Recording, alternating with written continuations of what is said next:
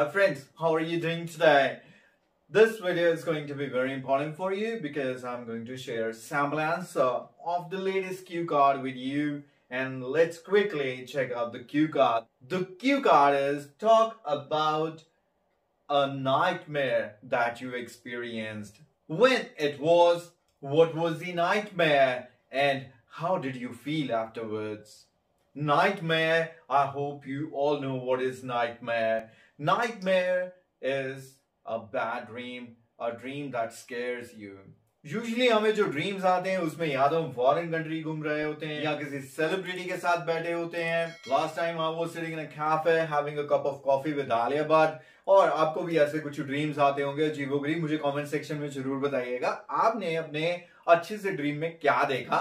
लेकिन यहाँ पर बात होने जा रही है एक बुरे ड्रीम की जिसने आपको बिल्कुल डरा दिया होगा। ऑब्वियसली आप देख रहे हैं YouTube चैनल आल्स कोचिंग और यहाँ पर मैं आपके साथ शेयर करने जा रहा हूँ आज के क्यू कार्ड का sample answer so before I request you please subscribe my channel and press the bell button to get the notification of my newly uploaded videos अब एक एक करके सभी क्यू कार्ड्स के वीडियोस में यहाँ पर शेयर करता जाऊँगा। और अगर आप चाहें तो इन सारे क्यू कार्ड्स को पा सकते हैं पीडीएफ फॉर्मेट में ऑन माय आज कोचिंग एप्लीकेशन जहाँ पर मेरे सारे कोर्सेज अवेलेबल हैं, वहीं पर स्पीकिंग बूस्टर भी अवेलेबल है at a price of only 350 that would contain all the latest cue cards, part 1 and the follow ups अभी मैं आपको बताऊँगा कि आप ये बुक अगर चाहें तो कैसे बाय कर सकते हैं, लेकिन उससे पहले आइए डिस्कस करते हैं आज के क्यू कार्ड की स्टोरी क्या रहेगी। वही ये है कि नाइटमेयर के लिए आपको कुछ ऐसा सोचना है जो आपको बिल्कुल डरा दे। यूजुअली हम बात कर सकते हैं ऐसी भूतों की वेल well, अगर आपको इनके बारे में बोलना है तो बोलिए आप कह सकते हैं कि आपने लेट नाइट कोई हॉरर मूवी देखी थी और उसके बाद आप परेशान हो गए क्योंकि ऐसा कुछ आपको ड्रीम में नज़र आया However, there can be problem with the vocabulary. You may not be having the appropriate vocabulary to describe it. So that's why, as you know, that I always try to keep the things simple, easy going. तो यहाँ पर मैंने कुछ सोचा है जो academics के साथ जुड़ा है वैसे भी 85 परसेंट प्लस स्टूडेंट्स एकेडमिक्स रहते हैं, जो आज का एग्ज़ाम देते हैं, जो 15 परसेंट नहीं होते, वो भी किसी ना किसी टाइम स्टूडेंट्स तो रहे हैं। So that's why my answers are reasonable for anyone हम बात करेंगे आपके टेंथ या टेन प्लस टू के एग्ज़ाम्स आने ही वाले थे। They were just round the corner round the corner मतलब बहुत पास थे।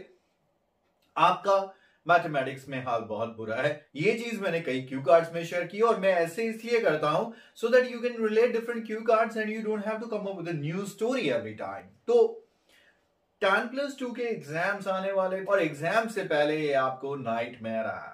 रीजन बीइंग आप हैं मैथ्स में बहुत ही कमज़ोर और आपको नज़र आया कि आप एग्जामिनेशन हॉल में बैठे हुए हैं एग्ज़ाम दे रहे हैं, लेकिन आपको आता कुछ भी नहीं है।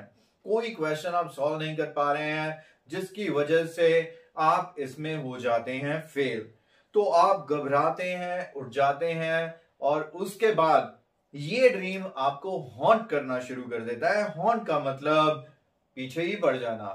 साया जैसे होता है, किसी कमरे में लड़कियों को जाने में डर लगता है, अंधेरे में किसी को बाहर जाने से डर लगता है, या लाइफ में कुछ ऐसे नेगेटिव एक्सपीरियंसेस हो जाते हैं जो हमेशा आपके दिमाग के ऊपर हावी रहते हैं that means they start to haunt you अब, आप बिल्कुल भी रिलैक्स ही नहीं कर पाते थे, क्योंकि ऑल द टाइम ये बैड ड्रीम आपको हॉन्ट कर रहा था. Then you discuss that with your mother आपने उनके साथ अपनी प्रॉब्लम को शेयर किया तो उन्होंने कहा कि why not you take it as a message of almighty probably nature तुम्हें यह समझाना चाहती है that you should be practicing because you are not good in that subject तो आपने क्या किया? आपने इसको एज अ चैलेंज लिया।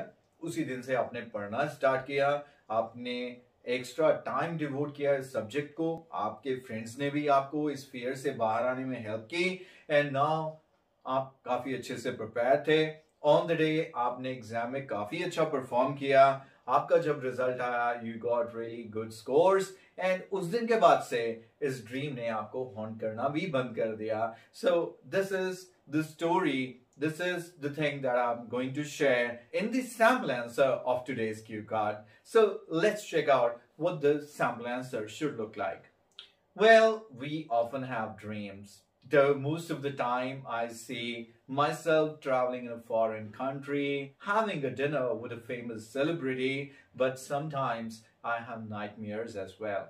And I would like to take this opportunity to share my experience of having a nightmare.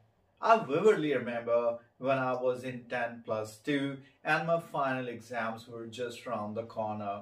One night I had a dream in which I'm sitting in examination hall and it is my mathematics exam.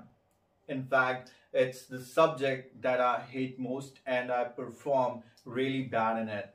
To be honest, I'm really not good at mathematics. I find this subject really difficult at the same time boring.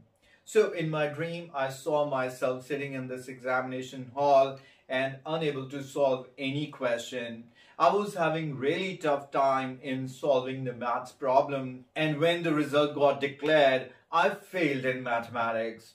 It was a really terrifying experience. Usually I forget the dreams when I wake up in the morning, but this particular nightmare started to haunt me from that particular day. I simply could not relax at all. This thing was there on my mind all the time. Since I was really tensed, so I decided to share this problem with my mother.